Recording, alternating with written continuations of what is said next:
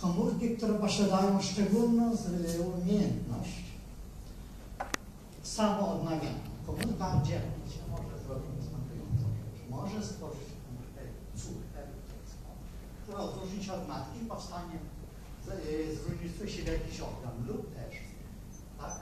Lub też odnawia się.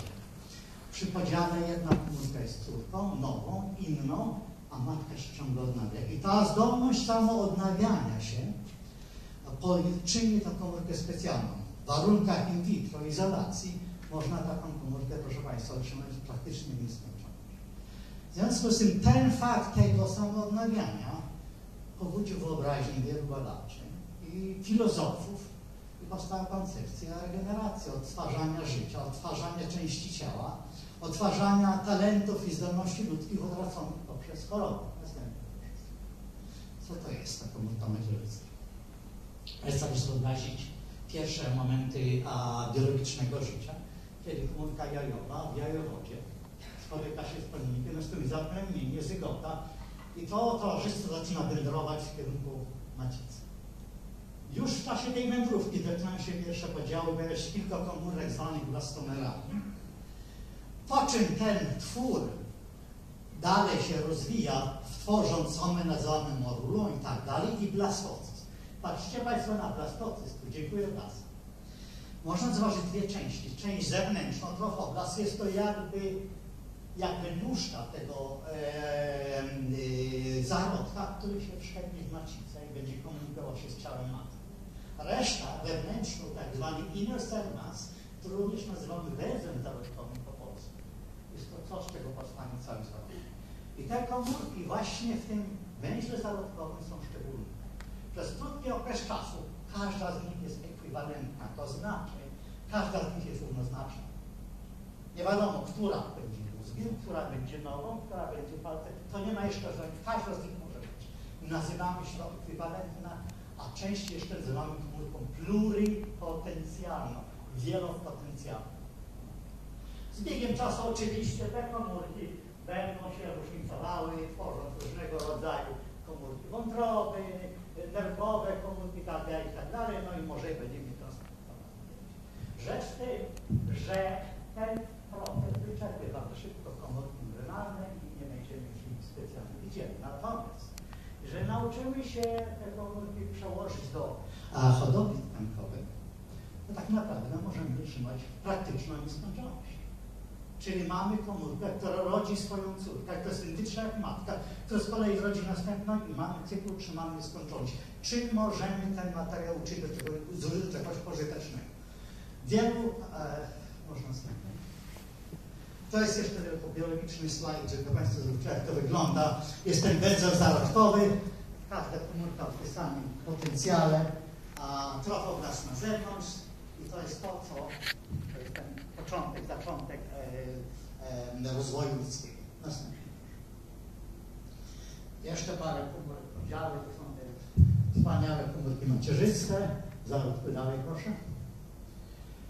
Pierwsze obserwacje tego zjawiska podniecające wyobraźnię badaczy i lekarzy to były obserwacje na myszach i były na początku lat 80. Minęło 18 lat, 17, zanim pierwsza zizolowana komórka z różnych. Po pierwsze, technicznie nie jest to takie proste. Jest o wiele bardziej skomplikowane, do końca nie wiemy dlaczego, ale jest, niż izolacja komórek Drugi problem to są problemy etyczne i problemy związane ze źródłem tych komórek. Skąd się biorą? A, następnie. Skąd się takie komórki mogą wziąć? Proszę Państwa, komórki biorą się z tego, z tego co my nazywamy procedurą leczniczą, a leczenia bezpłodności. W Stanach Zjednoczonych około 100 tysięcy par rocznie zgłasza się do klinik a, z prośbą o pomoc w chorobach bezpłodności. Chorób jest dużo. Tak jak tracimy słuch, ponieważ mamy na przykład źle wykształcone e, kanały uszne lub mamy inne schorzenia z powodów nie, nieprawidłowej anatomii, tak również nieprawidłowa anatomia organów rodnych, męskich lub żeńskich może doprowadzić do bezpłodności. Zgadzamy się z tym, że możemy stosować różnego rodzaju protezy, żeby proces na przykład suszenia ułatwić. Jest to proces na zewnątrz zapewnienia jest pewną formą protezy, gdzie komórki się łączą i następnie są szpitane do ciała matki.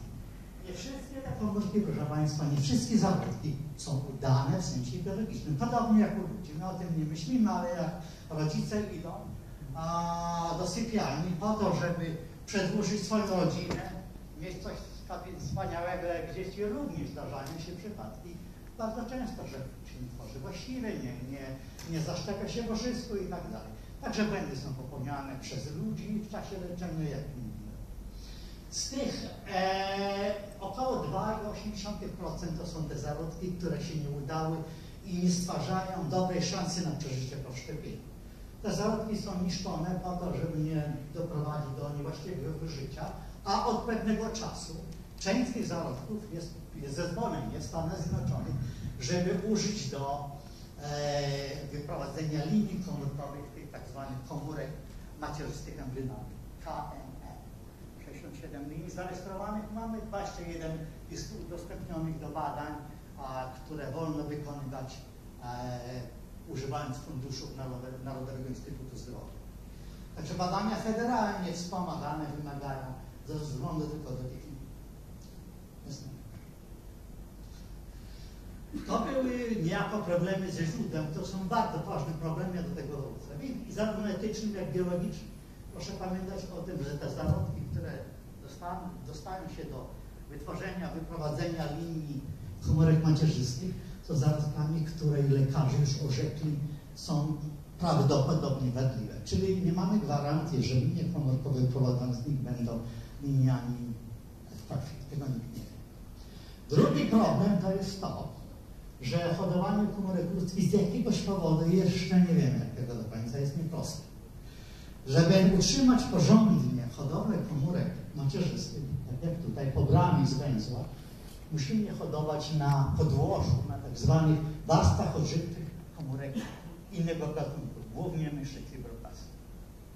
Problem jest taki, że komórki, zgodnie z prawem w Stanach Zjednoczonych, myślę, że w całym świecie, ludzkie, które były w kontakcie z komórkami zwierzęcymi, nigdy nie mogą być używane do, do terapii. To są to badania podstawowe, a nie są to badania w żadnym stopniu kliniczne. Metod. W naszym e, uniwersytecie jest Wydział Bioinżynierii, który szukuje nowych metod. Specjalne trójwymiarowe matryksy zbudowane z polimerów i tak dalej się używa do tych hodowli. I jest pewien sukces. Powoli udaje nam się te hodowle już oddzielić od hodowli zwierzęcej. Czyste komórki ludzkie bez możliwego kontaktu z patogenem zwierzęcym. Następny. Takie komórki, jak Państwo widzą, można hodować. Powstają z nich tak zwane embroid bodies. A ja używam ten slajd, żeby starać się Państwu przekazać moim zdaniem bardzo ważną wiadomość. Aczkolwiek komórki embrionalne, macierzyste są pluripotencjalne i faktycznie są w stanie otworzyć kalibą tkankę, nie są w stanie budować benzyny. Prawa rządzące połączeniu tkanek w prawdziwie funkcjonujący organizm zwierzęcy ludzki są nieznane, jeszcze długo nie będą poznane. Nikt nie w tej chwili nie ma zamiaru z tego to oto tworu wytworzyć człowieka lub zwierzęcia. Co można zrobić, to otrzymać tak zwane ciało embrionowe, embryo body, z którego to ciała można wyprodukować neurony, następnie proszę, może zobaczyć, proszę, możemy komórki nerwowe, nerve cells, możemy zrobić komórki serca, można obserwować komórki na płycie Petriego, które biją jak serce. Można otrzymać komórki, które stracili ludzie, nasi znajomi, koledzy, przyjaciele, członkowie rodziny, sami chorzy na cukrzycę. Można z niej odbudować komórki. A ludzi, którzy stracili szpik kostny z powodu choroby lub napromieniowania leczniczego również.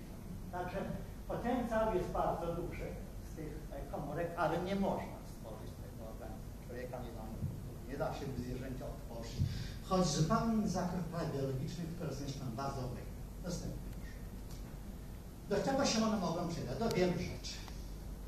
Proszę Państwa, zaraz zobaczmy. Przede wszystkim pojawia się zupełnie nowy model do badań nad chorobami.